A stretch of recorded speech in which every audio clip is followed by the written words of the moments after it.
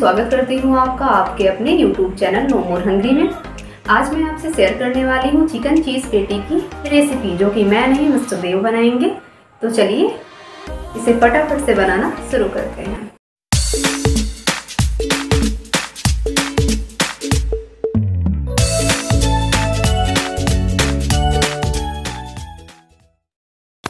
Chicken पेटी बनाने के लिए हम ले लेंगे 400 ग्राम बोनलेस चिकन 200 ग्राम हमने ले लिया है बॉयल कॉर्न तीन पीस हमने यहाँ पे एग ले लिया है। एक बड़े चम्मच हमने यहाँ पर ब्लैक पेपर पाउडर ले लिया है। दो बड़े चम्मच हमने यहाँ पर मेयोनीज ले लिया है। यहाँ पर हमने एक छोटा सा कैप्सिकम चॉप करके ले लिया है। तीन बड़े चम्मच हमने यहाँ पर मोजरेला चीज़ ले लिया है।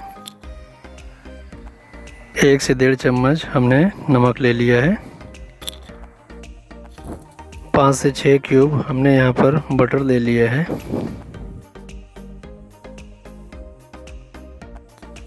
तीन से चार चम्मच हमने यहाँ पर कुकिंग ऑयल ले लिया है। चिकन पेटी बनाने के लिए हम ले लेंगे विदाउट कटिंग ब्रेड और इसका ऊपरी भाग हमें कट कर लेना है। विदाउट कटिंग ब्रेड के हमें दो पार्ट करने हैं। 20 percent eighty percent twenty percent ऊपर का भाग रहेगा हमारा और बचा हुआ 80 परसेंट में हमें बनाना है चिकन पेटी हमें इस तरीके से आसानी से ब्रेड को कट कर लेना है।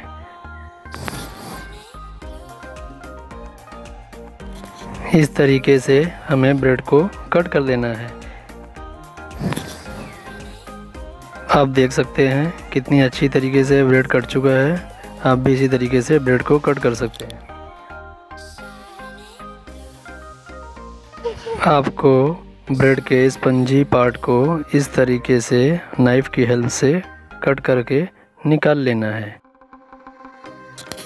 हमें ब्रेड के बीच में छोटे छोटे कट लगाना है ताकि इजीली ये रिमूव हो सके।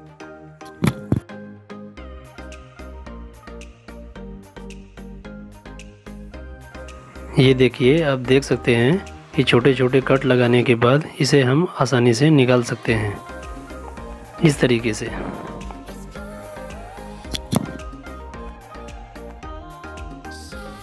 इस तरीके से हमें ब्रेड के टुकड़े को निकाल लेना है। आप देख सकते हैं कितने अच्छी तरीके से ब्रेड के टुकड़े निकल चुके हैं। अब हम इसके बेस थोड़े से बराबर कर लेंगे, इस तरीके से। आप देख सकते हैं, इस तरीके से आप इसके बेस को अच्छी तरीके से कवर कर सकते हैं। आप देख सकते हैं, इसका बैलेंस एकदम बराबर हो चुका है। अब हम इसे साइड कर देंगे। हम यहाँ पर ब्रेड के ऊपरी भाग को भी ले लेंगे और उसे भी उसी तरीके से हम कट कर लेंगे, जिस तरीके से हमने 80 परसेंट वाले भाग को कट किया हुआ था। आप देख सकते हैं, इस तरीके से।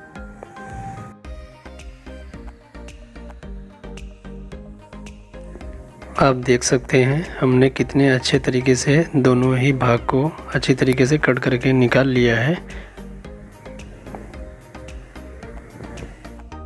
कढ़ाई में बेक करते वक्त हमें इसे इस तरीके से ऊपर की तरफ़ रखना है। आप देख सकते हैं, इस तरीके से। हम यहाँ पर बोनलेस चिकन को ले लेंगे और इसे छोटे छोटे टुकड़ों में कट कर लेंगे। आप देख सकते हैं चिकन पेटी बनाने के लिए याद रहे, आपको बोनलेस चिकन ही लेना है, इस तरीके से। हमें चिकन को छोटे छोटे स्लाइसेस में कट कर लेने हैं। देखिए, इस तरीके से।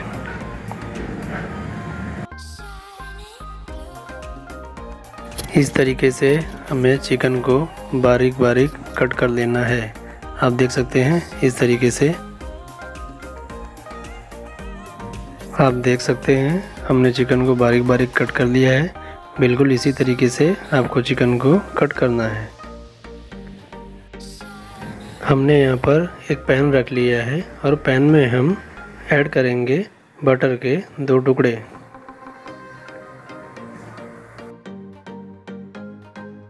आप देख सकते हैं, हमने बटर को अच्छी तरीके से पैन पे अप्लाई कर दिया है।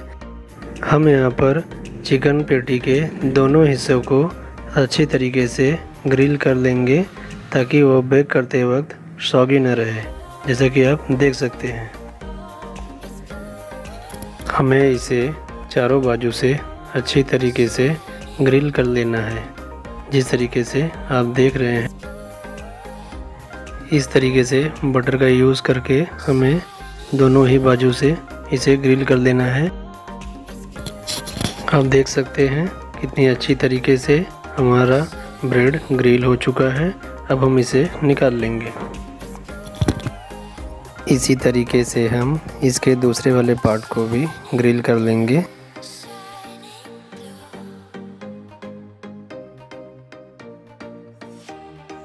अब हम चिकन को ग्रिल कर लेंगे। चिकन को ग्रिल करने के लिए हमने यहाँ पर एक पैन ले लिया है। पैन में हम ऐड कर लेंगे कुकिंग ऑयल। हम इस तरीके से चिकन को पैन में ड्रॉप कर देंगे। चिकन को पैन में ड्रॉप करने के बाद हम इसे हल्का हल्का चला लेंगे।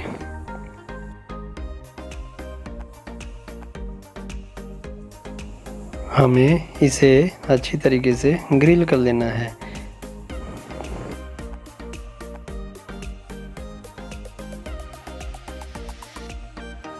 चिकन हमारा अच्छे से ग्रिल हो चुका है। आप देख सकते हैं। अब हम इसमें ऐड करेंगे कश्मीरी लाल मिर्च का पाउडर। कश्मीरी लाल मिर्च का पाउडर ऐड करने के बाद आप देख सकते हैं कितना अच्छा टेक्सचर आ रहा है। अब हम इसे अच्छी तरीके से मिक्स कर लेंगे।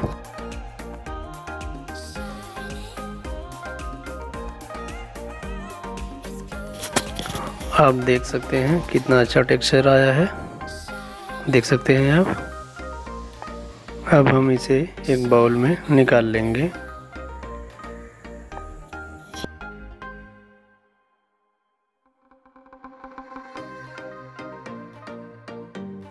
चिकन फ्राई होने के बाद हमें पैन में कुकिंग ऑयल ऐड करना है।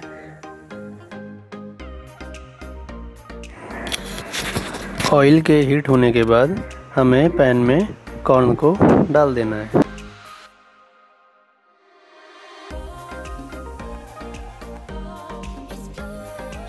हमें इसे हल्का सा फ्राई कर देना है।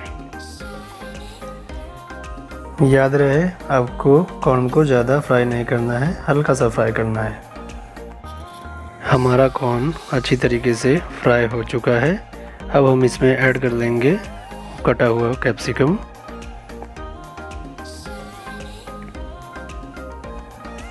और इसे अच्छी तरीके से चला लेंगे।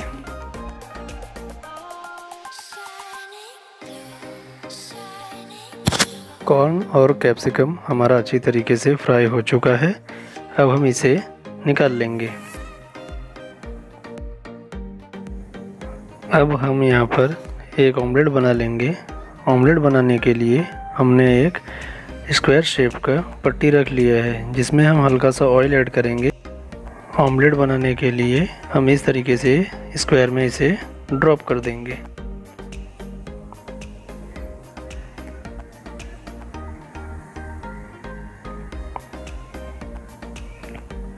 देख सकते हैं आप कितना बढ़िया दिख रहा है ये। हल्का सा ब्लैक पेपर पाउडर ड्रॉप कर देंगे।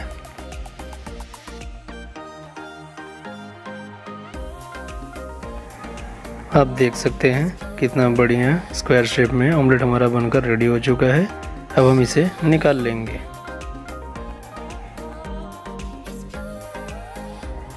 ये हमारे चिकन के टुकड़े हैं जो हमने मिड में ग्रिल करके रख लिया था। हमने यहाँ पर ऑमलेट ले लिया है। ऑमलेट को इस तरीके से रखकर हम इस पे लंबे लंबे कट लगा लेंगे। आप देख सकते हैं इस तरीके से।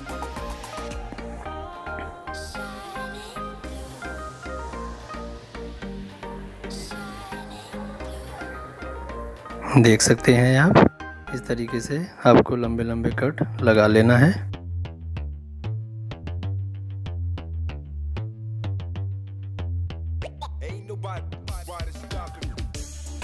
यहाँ पर हम अपनी चिकन पेटी रख लेंगे। चिकन पेटी को हम इस तरीके से ग्रीस कर देंगे थोड़ा सा।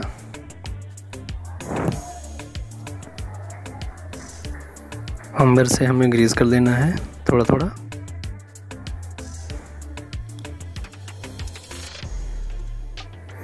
हमें ऑमलेट की पहली लेयर लगा देनी है। उसके बाद हम थोड़ा सा चिकन स्प्रिंकल कर देंगे। देख सकते हैं आप इस तरीके से। हमने यहाँ पर बॉईल किया हुआ कॉर्न और कैप्सिकम ले लिया है। इसमें हम ऐड करेंगे मेयोनीज़ मेयोनीज़ को हम अच्छी तरीके से मिक्स कर लेंगे देखिए इस तरीके से। हमें मिक्स कर देना है। इसमें हम ऐड करेंगे ब्लैक पेपर पाउडर ऊपर से स्प्रिंकल कर देना है। उसके बाद हमें इसे भी मिक्स कर देना है अच्छे से। स्टफिंग हमारी रेडी हो चुकी है। अब हम इसे साइड कर देंगे हमने यहाँ पर चिकन पेटी को ले लिया है। हम इसमें असेंबल कर लेंगे वेज स्टफिंग आप देख सकते हैं, हमने ऑमलेट की एक लेयर लगा रखी है और चिकन की भी। अब हम स्टफिंग को भी इसके अंदर फिल कर देंगे हमें धीरे धीरे एक एक लेयर अच्छे से लगानी है। अब हम ऑमलेट की दूसरी लेयर लगा लेंगे। इस तरीके से, देख सकते हैं आप। अब हम चिकन की दूसरी लेयर लगा लेंगे। देख सकते हैं आप इस तरीके से।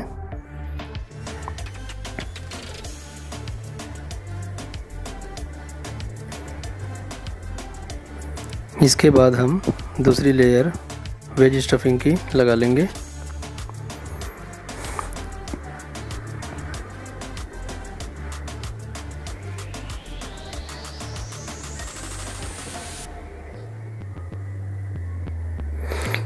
हम ऐड कर देंगे ब्लैक पेपर पाउडर स्प्रिंकल कर देंगे अच्छे से।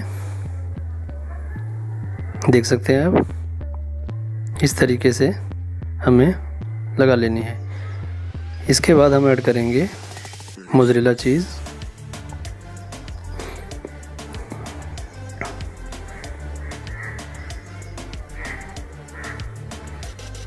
अच्छी तरीके से हमें ये कॉर्नर कॉर्नर पे भी लगा लेनी है।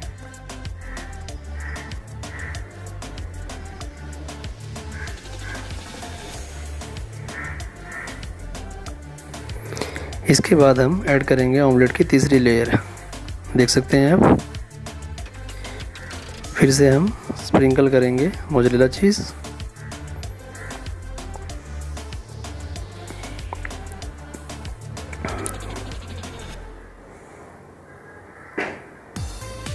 हमें अच्छी तरीके से मोजरीला चीज़ ऐड कर देनी है।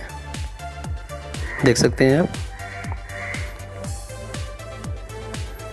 चिकन की तीसरी लेयर यानी कि फाइनल लेयर हमें लगा देनी है। देख सकते हैं आप इस तरीके से।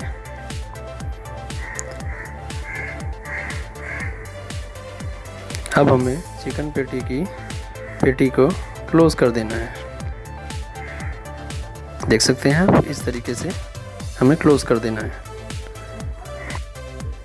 चिकन पेटी को बेक करने के लिए हमने कढ़ाई रख लिया है, कढ़ाई को फ्री हीट कर लिया है। देख सकते हैं आप, चिकन पेटी को अब हम कढ़ाई में ड्रॉप कर देंगे। इस तरीके से, देख सकते हैं आप। हमें इस तरीके से रख के इसे बेक करना है। इस तरीके से हम इसे क्लोज़ कर देंगे। क्लोज़ करने के बाद हमें इसे 15 से 20 मिनट रुकना है। 15 से 20 मिनट हो चुके हैं। अब हम चिकन की पेटी को निकाल लेंगे। चिकन पेटी को हमने बाहर निकाल लिया है। चॉपिंग बोर्ड पर आप देख सकते हैं। देख सकते हैं आप कितनी अच्छी तरीके से चीज़ हमारा मेल्ट हो चुका है और दिखने में काफ़ी टेम्पटिंग दिख रहा है ये। अब हम स्प्रिंकल कर देंगे चिली फ्लेक्स।